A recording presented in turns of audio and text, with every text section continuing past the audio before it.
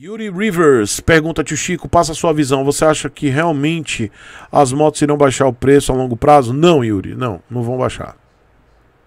Não vão baixar, tá? A tendência é porque assim, não adianta só a gente, é, não adianta a gente olhar somente o fator, é o que eu bato aqui no canal.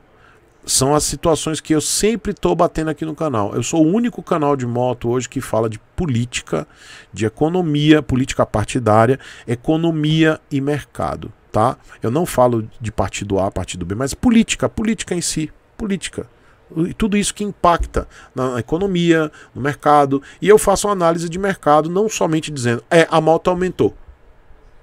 Não, eu digo, ó, aumentou. Por quê?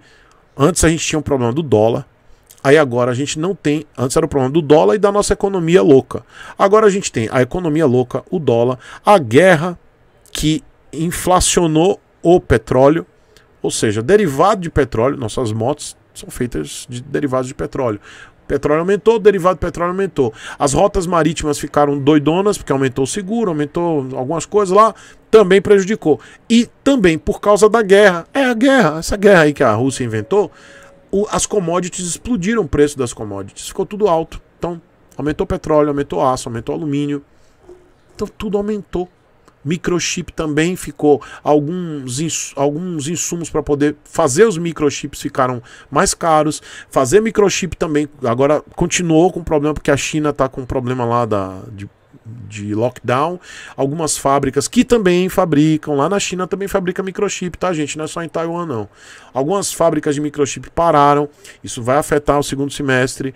Então, não é somente uh, o dólar e a nossa economia. Então, você olhando isso, o impacto é de anos, cara. Não é uma questão de um ano, seis meses. Isso vai impactar aí muitos anos, tá? Pode botar cinco anos aí, moto não vai baixar preço, tá? A tendência é aumentar.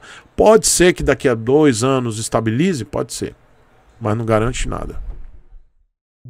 E essa aqui é uma singela homenagem e agradecimento a todos os apoiadores e membros deste que é o pior canal do YouTube. Pessoal, muito obrigado. O nome de todo mundo está aparecendo aqui agora e vai aparecer no final de todos os vídeos deste canal aqui.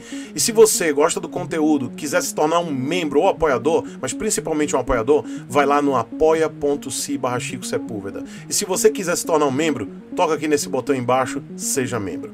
Muito obrigado.